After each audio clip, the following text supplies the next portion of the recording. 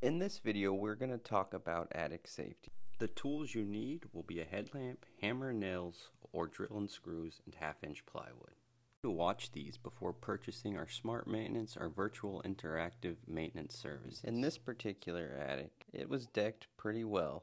There's not a lot of spots where you could go through the sheetrock, but not every attic is like this.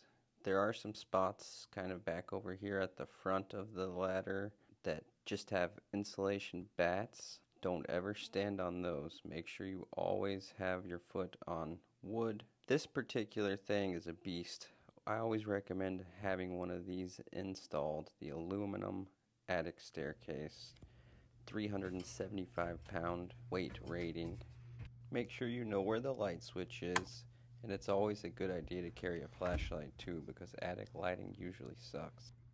Be sure to subscribe to our channel. I'm willing to bet you $1,000 that our virtual maintenance will blow your socks off or it's absolutely free. No questions asked. That's even in writing. Blow your socks off. No questions asked. Guarantee. We only have capacity for 10 clients per month, and we only operate six months out of the year, October 1st to March 1st. So hurry up. If you notice, there's some boards. Some of them are screwed down. The equipment's over there. So if you don't have any decking in front of yours, this is when you'd want to use some half inch plywood and really put you down a decent pathway instead of just trying to straddle on the floor joists like this and risk potentially going through your sheetrock and never wanting to try any of this again. If you don't have a very obvious spot to put your foot on a floor joist that you know is going to support you like this one, you might have to dig around or scooch some insulation around in order to really find your footing, as shown in this example right. Another pro tip is before putting your weight all the way down on this, make sure you're holding on to something that will support you, just in case that board were to give away you could catch yourself before falling. If your attic looks like this last example, just leave it to the freaking pros. Everything we do is designed to make your life easier,